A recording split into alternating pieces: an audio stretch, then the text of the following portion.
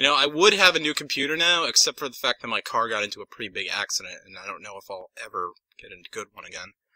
But that's Didn't that not happen important. like twice now? Yes, I'm not very lucky with cars. Fun. Yeah. Were you in the car when uh, this happened? Yeah, I got rear-ended. I was driving along Avenue C in Bayonne on 31st Street. I was stopped at the red light. I was going to make a left to go and return two books, actually, because I'm a good citizen like that.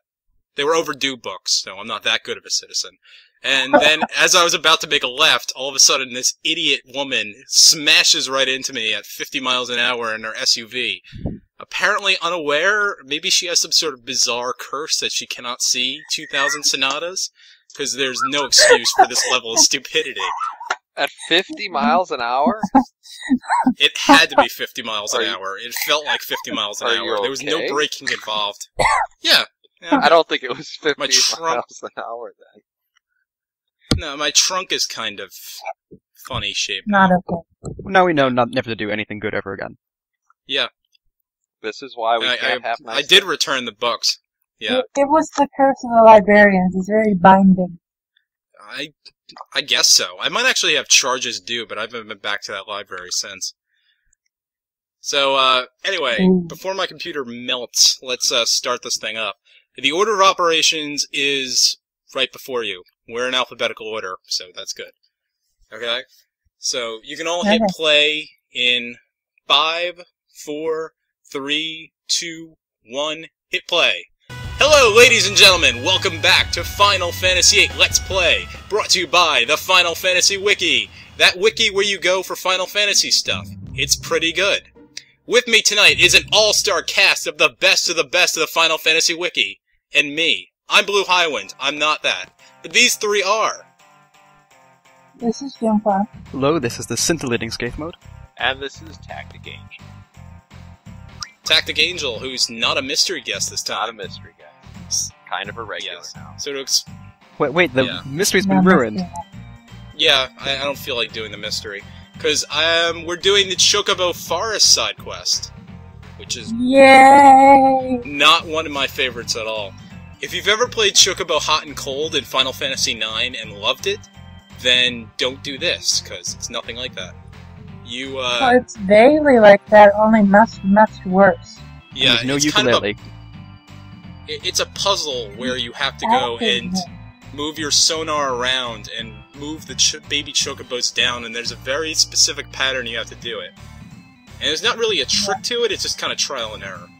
It's kind of what I got when I played It's it. not something to go into the Forest of Solitude. The Forest of Solitude is really rough. Right now, we're in the Forest of Snow. I don't remember which one this is. This is kind of the first one you're supposed to go to. Yeah, it's the Forest of what's its face. Beginners. Yeah, what what I Oh, always it's the do is Chocobo itself from the sky. yeah, it's kind of confusing. You have a Chocobo radar and you have a Chocoparo Xeno or something Xener. The Chocobo radar Yeah. tells you when a Chocobo's around. The Chocobo Xener makes Chocobos fall from the ground. And for some reason, this isn't two buttons. You just have to go into the menu and switch it up. I Yeah, Honestly, that's, that's. I've- did this so long ago that I don't remember how this works at all. I remember playing it Uh, for five minutes and being done. I, I vaguely remember Yeah. how this works. Tactic Angel, you're kind of thinking the way I would think, because if I wasn't doing this for the Let's Play, I would have given up almost immediately. Because this is... Meh, Yeah. eh. Well, well, the way you do this is you use a guide, and that's how you do it. Yeah, that's pretty Oh, I mean, it. you use a guide for Force of Solitude. The other ones are relatively, sort of okay, mostly. Yeah. The guide is to make a big chocobo come down, and then you have to go and find a treasure, and the big chocobo will lead you there. And then the chocobo boy is surprised by this. The choco boy. Yeah. It's actually Chocobo Oi. Chocobo boy. It's, it's, that's how it's Choc... Choco Bowie? Chocobo. What, what I know about him is that Chocobo. he is an evil monster, and he hides places where he's supposed to check for chocobos. Yeah, that describes David Bowie pretty well. He's an androgynous person from Mars, right? Well, the He spiders has are from. Mars, not him. Yeah. Well, if you've ever seen The Man Who Fell from Earth, his genitalia is, well, uh, creative, I think is a diplomatic way of saying it. Alright then. And I'm s- I'm gonna go say that movie is a realistic biography of David Bowie. No one would argue. Yeah. Well, maybe David Bowie's lawyers would say so. So I'm gonna go and uh, adjust that statement by saying it's allegedly a biography of David Bowie's real life. I think I'm the only person who's paying attention to what's going on on the screen. And it doesn't make any more sense. I'm watching. It's just It doesn't make any more sense You- watching somebody do it successfully. I'm I'm not even sure if I'm doing Yeah, it no, successfully yeah. or if this is one of the times I kind of screw up. Because you really you you really just have to guess. The chocobos go up and down, and there's a very specific pattern to it. I, I, I honestly have no recollection of how this works at all. I think the ultimate goal is to get all the chocobos on the ground, and then the big one will come down. yeah. Well, no, I think the big one's an optional thing that you do. You get all the chocobos down, and in a certain spot you call, you get the chocobo. It's something. There's definitely something to this. No, no, the idea is you got to get the big chocobo from every single forest, and then you lead them to the top secret ultimate chocobo forest where you'll get a summon that you'll never want to use. So, what is with this think you got little gauge card. at the bottom left that keeps doing the same thing regardless of what you're doing? Uh, that's uh, the Yeah, but what does it do? Because it doesn't seem Yeah, useful. I thought ordinarily it goes. It, yeah, normally it seems like it works more usefully. I don't know what it's doing now. They Yeah, see, there it goes. Yeah, it shoots up. You'll either get a sound or the radar thing will go up. The sound is almost impossible to hear, so.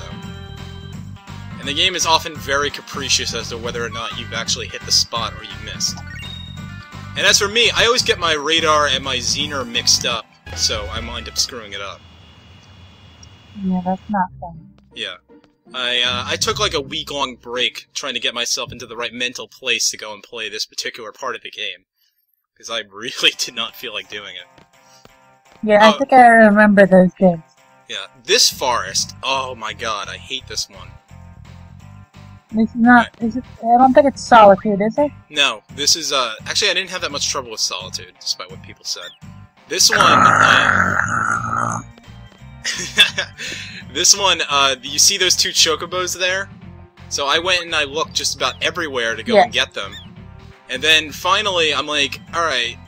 I've tried everything around here. It must be down this path. And I swear to God, I went down this path and I checked every single square inch, except for a very specific one where you need to go and look to get the chocobo. Isn't it down this path? It is down this path. Is this the one where you have to talk to thought the so, guy, yes. the chocobo is like, hey, you're standing on the place that I need to. No, that's the. Yeah, no, I'm solitude pretty one. sure it's Forest of Solitude. Okay. I Yeah, was actually standing over the treasure. Because I remember yeah, that that's was just why I mentioned that whole bit with you know that guy is a massive evil jerk and he stands where he needs to reach stuff. But I mean, you could imagine that at some point, when Square Enix was developing Final Fantasy IX, maybe this is like the proto form of Hot and Cold, the ungood version. It's like sweet and yeah, sour. it's, it's entirely possible. Somebody, but Sakaguchi came down and said, "Okay, this is completely awful. How do we make it good?" It's kind of like the music that David Bowie made while he was on Mars, which wasn't very good. But I mean, he was a little kid back then. He was just learning his craft, which is why they never put it in any records. But this should not have been put in any game. That's what I'm saying. Also, yeah, I David think I Bowie. get what you're saying. Yeah. The, the metaphor's kind of strained, but you know. Uh, also, Chocobo up Squall's ass I didn't need that mental image. You saw it. all the way through. You saw it. It wasn't just a Well, mental I was- image. I you saw it didn't- on the screen.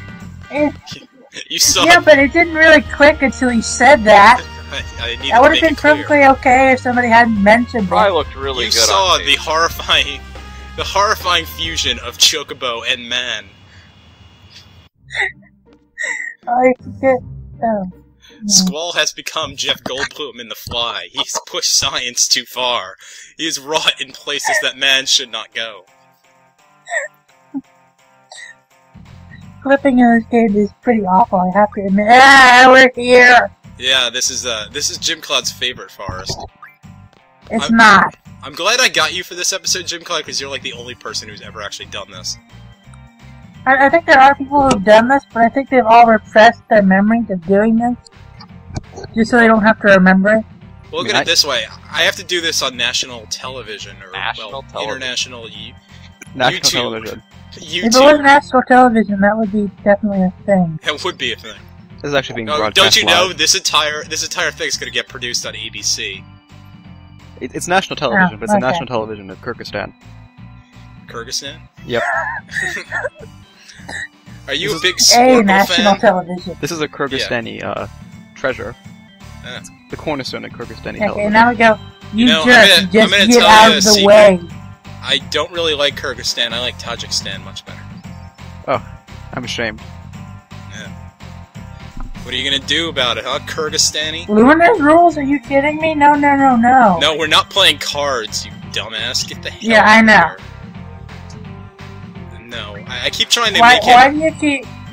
I keep on making. I'm thinking if I say no enough times, he's not going to play by lunar rules. But he, Why- he's very, would he's very that? insistent upon it. Wh- wh- What's weird about Triple Triad is like you get into these long arguments with the NPCs over the card rules. and then finally, I'm like, arguments. It's just you refuse to play until they give in. no, this is an argument. It's like I want to play by lunar rules. No, I want to play by lunar rules. No.